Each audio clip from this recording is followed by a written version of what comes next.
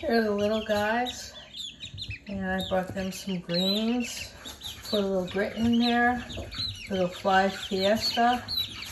And they're enjoying it. There's lavender orpington. Rhode Island red.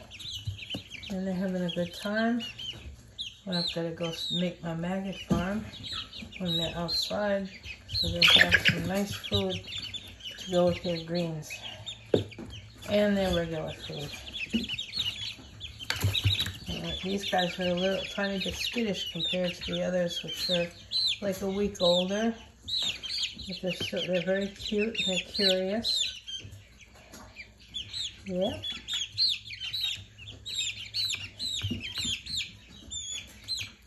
Each eye is used for a different purpose.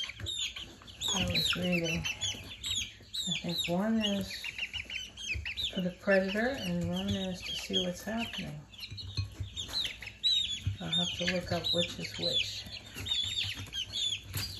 So, anyway, you guys, you guys have a good day, and I'll see you in a couple hours and see what I can do for you. See if you need some, some more green. Love you guys.